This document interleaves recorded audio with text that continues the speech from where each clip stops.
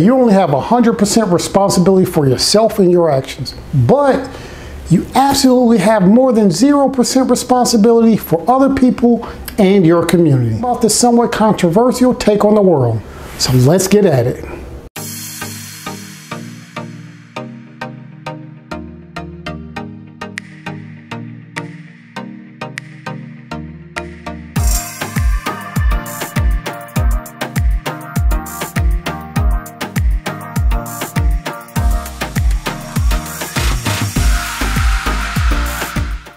Hello, I'm Robert Johnson. Thank you for stopping by the Legacy Gentlemen channel.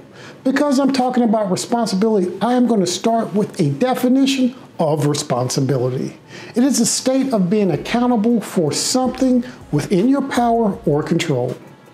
Now look, I'm assuming that you're an adult, and if you claim to be grown, all blame starts and stops with you.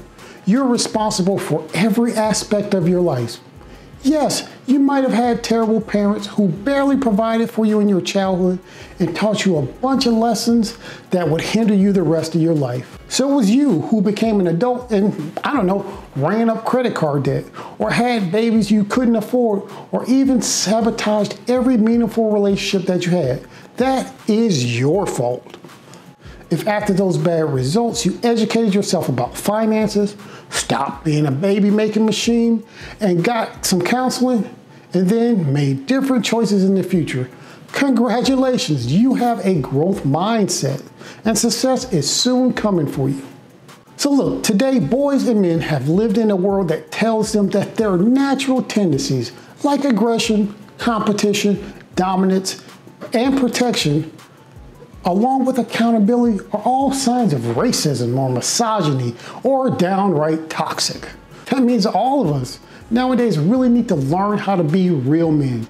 In the past, it was our grandfathers and fathers and uncles and best friends and sports coaches, pastors, and yes, even educators all directly contributed to having boys grow into men. For the most part, those days are gone. So, gentlemen, we need to seek in person role models, then read books, and yes, even watch videos that help you increase your manly status. But whatever you do, you need to take positive action and move your journey forward in life. So, listen, men, if you do not lead, women will assert their dominance. And if you've not heard this before, men should lead. You should lead your family, you should lead your kids, and you should be a leader amongst the community that you live in. That is what it means to be a man, leading. But look, gentlemen, make no mistake, you owe provision and protection and guidance to your children if you make them. You should meet this responsibility without the government intervention. As your children become adults, they will need your advice but you must let them make their own choices. If you live in a place, you should always try to better your position and those under your charge.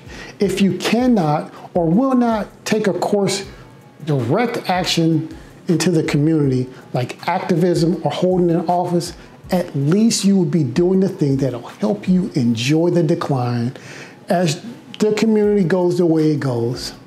Accepting responsibility in your life is the surest path for long term fulfillment and achievement. When you cut the BS and grab the bull by its horn and you'll steer your life, it gets, it's hard to do that. And we can't deny that.